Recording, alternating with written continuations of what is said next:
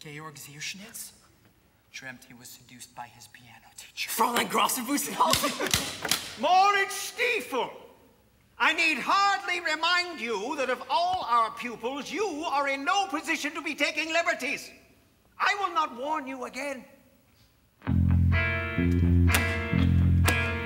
God, I dreamed there was an angel who could hear me through the wall as I cried out like in Latin, this is so not life at all. Help me out, this nightmare. Then I heard her silver call. She said, Just give it time, kid. I come to one and all. She said, Give me that hand, please, and the itch you can.